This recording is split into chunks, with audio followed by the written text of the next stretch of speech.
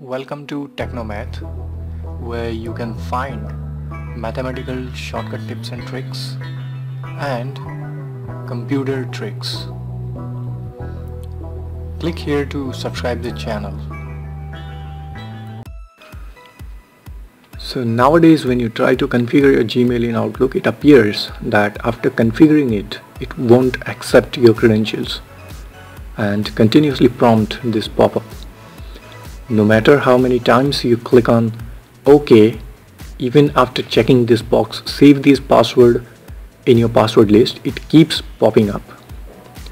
And after some time, it gives following error. This issue occurs if the basic authentication has not been enabled for your Gmail account. So we will see today how to get rid of this situation. So we'll go step by step and see how to configure the Outlook first and then see how to resolve the error we have seen earlier. The first thing we need to do is to enable POP IMAP. So log into your Gmail account as I already did and click on this gear symbol on the top right corner. Click on settings. Go to this option forwarding and pop slash IMAP. Here you can see the status for pop is disabled and status for IMAP is disabled. You can choose either one of them. You can select either pop or IMAP. I am going to select IMAP. Once you select enable IMAP then click on save changes. The reason behind selecting IMAP is that IMAP is a two-way communication between your webmail and email client. One of the email client that we use is Outlook. It means that if you open your mail on web browser and then perform some actions on Outlook, then you can see the changes done in Outlook instantly appear on webmail. This is not the case with POP. So basically IMAP provides a better way to access your mail on multiple media and devices. Okay, so go to the start menu and open the email client that is Outlook. Now on the top left corner click on file and click on add account From here select manual setup or additional server types. Click on next. Select POP or IMAP which we have enabled. Remember we have enabled the IMAP setting for my Gmail account and I have already explained the reason behind this.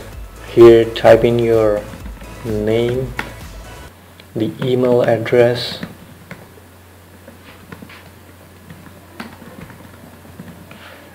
From the account type drop down list, select IMAP. In the incoming mail server, you should type imap.gmail.com. Outgoing mail server will be smtp.gmail.com and the username should be the same as the email. Enter your password here and make sure the remember password option is selected click on more settings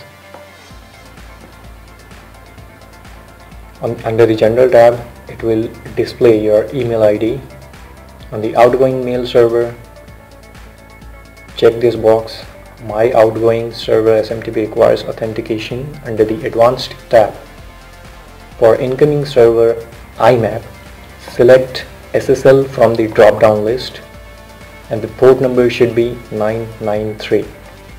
For outgoing server SMTP select SSL from the drop down and the port number should be 465.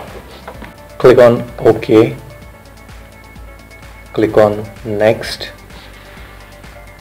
See it is showing me this pop-up and it's saying that your credentials are not accepted even if I check this box save this password in your password list and click on OK it will again and again and again will show me this. And if we cancel this it will continuously give us this pop-up. And finally it will show us this error. But right now it's not showing the error message which we have seen at the beginning of this video. But eventually you will get that error message anytime so as explained in the beginning this issue occurs due to the fact that you have not enabled the basic authentication for your Gmail account, the feature which is known as allow less secure apps. Let's see how to enable this feature from your Gmail account. So to enable the basic authentication, now I'm just going to my Gmail account and on the top right corner click on your profile picture and click on my account. From here scroll down and click on sign in and security. From the left hand side menu bar select connected apps and sites. Scroll down a little bit and you will see the option allow less secure apps so we need to enable this option. So enable it by just scrolling this button. Once we enable this option I'm again going to the Outlook and I'm just going to click on next. And let's see if it throws me again the same pop-up. You see the process is completed successfully. You just close it click on next and your Outlook account for the Gmail has been configured now and it will download all my mails one by one from the web server to my local system. I hope you, like, you liked the video. Keep sharing it and subscribe to the channel to get the future updates. Thank you.